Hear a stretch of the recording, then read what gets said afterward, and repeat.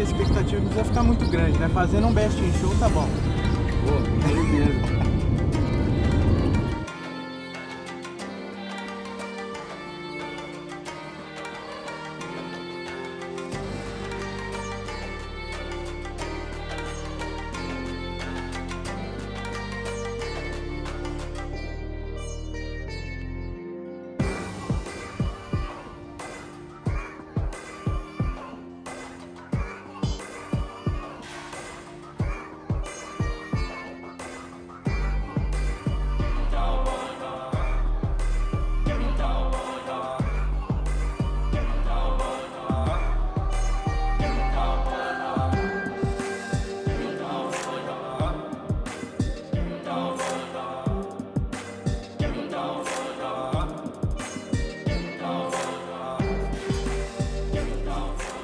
o seu Isaldir e vou perguntar para ele como é que tá a expectativa do, do campeonato esse ano, Isaldir. A expectativa sempre é grande, né?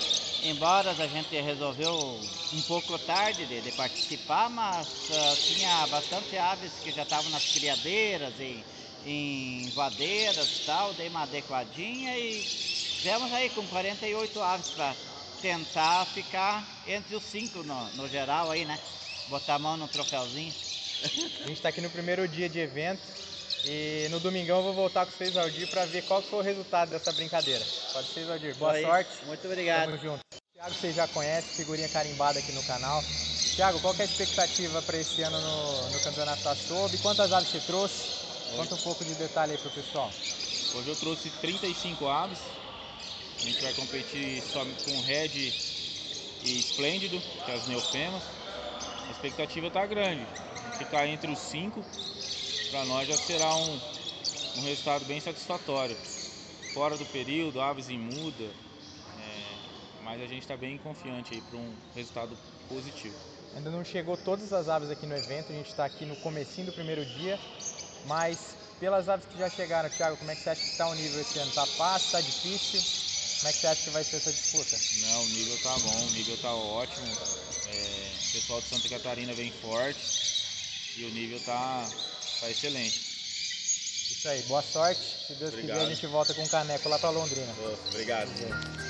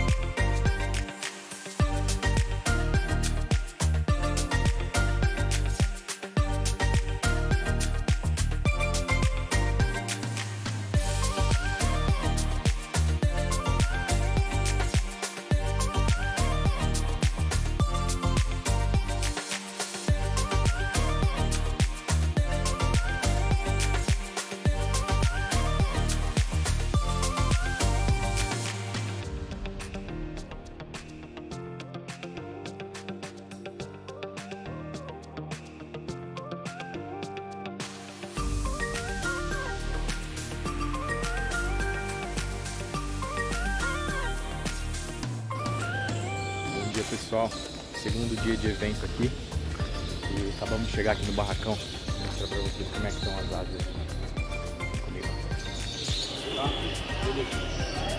E aí Thiago? E aí, bom dia, tudo certo? Pessoal chegando aqui já já começa o evento. Hoje toda essa área que vocês estão vendo aqui está restrita somente a- aos criadores que vão participar do campeonato. O pessoal que não está participando vai ter acesso ali à área de vendas e é um stand que eu vou mostrar para vocês logo mais. Mas essa parte aqui vai ficar restrita aos criadores que estão competindo. E aqui estão as mesas de julgamento. Então os juízes vão posicionar as gaiolas em cima dessas mesas e vão julgar as aves para definir quem vão ser os campeões de cada categoria.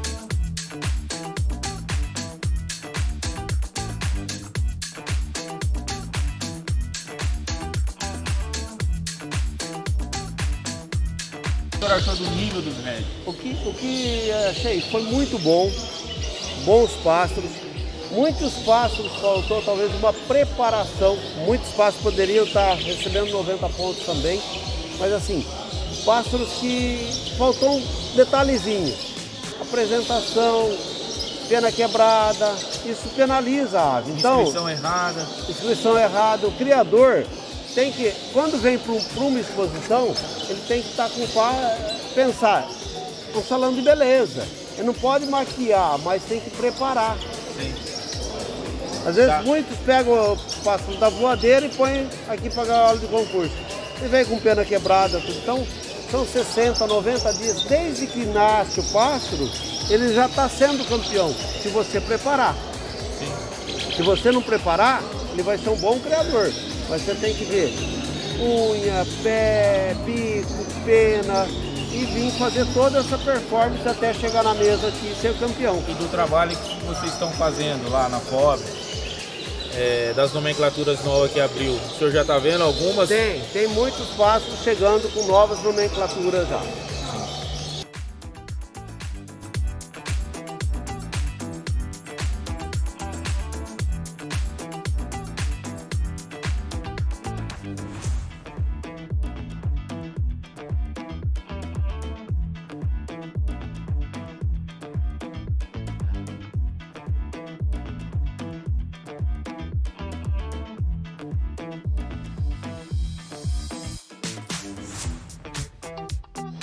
Ah, eu avisei, eu avisei. Volta aí, edição. Eu acho que a expectativa não precisa ficar muito grande, né? Fazendo um best in show tá bom. Pô, beleza. Isso aí, boa sorte. Se Deus quiser, a gente volta com o caneco lá pra Londrina.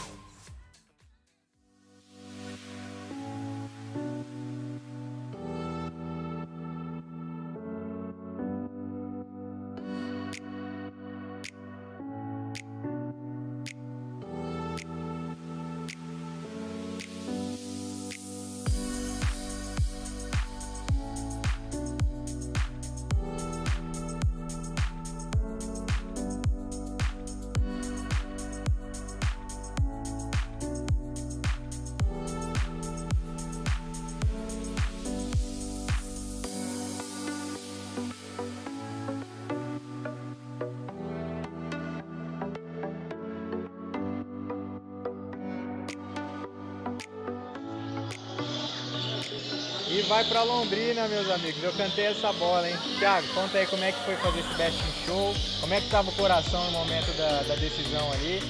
E depois você mostra pra galera o que, que você ganhou aí. É uma pá de roseta, uma pá de, de premiação. Sim, contente. Já vem trabalhando nisso há um tempo, né? Para chegar nesse best in show. Fiz com uma. Na verdade fiz com um pássaro que eu não esperava, esperava fazer o best show com outro pássaro, que eu já tinha feito, feito 90 pontos com esse pássaro é, na Copa Sul ano passado, em novembro, em Chapecó.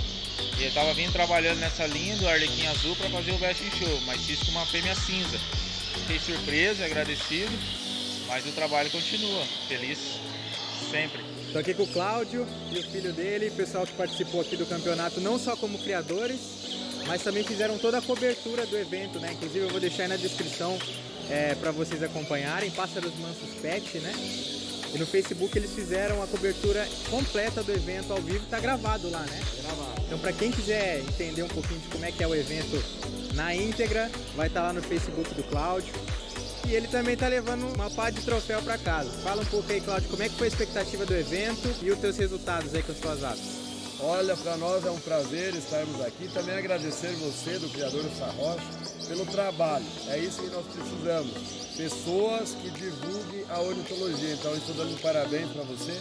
Você também está lá no nosso canal, Pássaro Pet. É só se inscrever e curtir o canal do Sarrocha também. E olha, foi muito bom. Além de fazer toda a cobertura, nós também conseguimos ficar campeão geral de citacídeos, conseguimos ganhar a milha de ouro, dentre outras várias premiações de 90 pontos e melhores pássaros. E é isso que a gente busca. Depois de muitos anos de trabalho, você busca sempre a perfeição das suas aves. Isso não quer dizer que eu saiba tudo, não. A gente tem muito que aprender. Eu e o Maurício, o Maurício, eu quero que ele fale um pouco, porque só eu falo. Hoje ele vai falar. Então, como é que é a criação, né? Ele fala como é que é cuidar dessas aves para vir no campeonato. Backstage, o dia a dia, né? Às vezes o pessoal vê as aves bonitas aqui, mas não sabe o trabalho que foi feito lá atrás, né? É, a gente tem um trabalho lá muito grande, desde limpar uma gaiola, manter ela sempre bem organizada, comida de primeira, água. A gente dá maçã, né, que vários criadores têm alguns que dão outros legumes e frutas. A gente procura dar maçã para ter um bom resultado no final, né? Isso é um, é um cuidado que vem desde quando nasce até chegar aí na premiação que a gente tem, né? E aí, conta para eles que quem é que cuida dos campeões aí, porque é ele nós temos todos os pássaros que participam dos campeonatos em gaiolas individuais, para ter todo o cuidado de preparação para o evento. E quem... Esse ano trouxe quantos? 70 aves. E é quem que cuida? Quanto aí é ele? É, as aves individuais são, todas, são todas eu que cuido, né? Eu procuro sempre o máximo de não estressar a ave, tra tratar ela com carinho, porque queira ou não queira, é ali que vai vir o teu resultado. Então, você atendendo a ave bem, ela vai te retornar também, da mesma forma. Gente, obrigado. Obrigado por estarem aqui com, com a gente nesses três dias. Foi um prazer enorme. Espero encontrar vocês mais vezes nos próximos campeonatos e concorrer junto com vocês. Eu não trouxe os meus, mas logo logo quero estar trazendo também. Obrigado, viu? Obrigado prazer. você, um abração.